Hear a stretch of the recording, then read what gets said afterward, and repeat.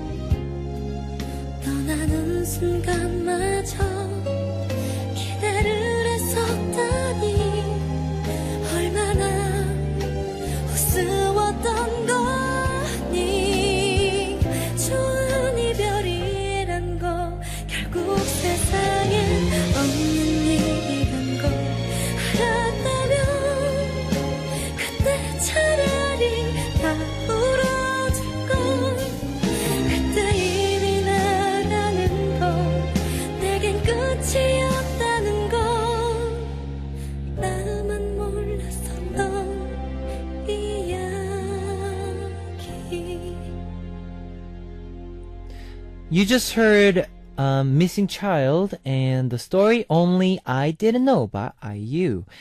On tonight's Artist Lab, we're getting to know IU.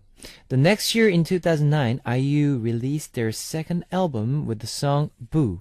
This was a dance song where IU transformed her image from a quiet, shy girl to an adorable and bouncy singer. The change was a good call because she began to take the spotlight and her hidden talents came to the forefront. Now, IU also appeared on variety shows and performed songs like Girls' Generation's Gee, Super Junior's Sorry Sorry, and Big Bang's Lie in an acoustic version, showing uh, showcast, showcasing her vocal talents with popular songs. Yes, I watched one of them, and it's all in YouTube as well, so you can find it out. This provided a, a, uh springboard for future success with songs like You Know and Marshmallow. Marshmallow, landing her in the top 10. We'll continue with more after a music break. Here is um, You Know and Nagging. Yeah, this song is my love story. 첫눈에 반한다는 말 절대로 믿지 않던 날내 앞에 너 나타난 순간 뺏겨버린 맘 멈춰버린 시간 내 꿈에서 만난 오랫동안 찾아 헤맨 나의 천사 너무나도 가슴 떨려 말 한마디 못해 난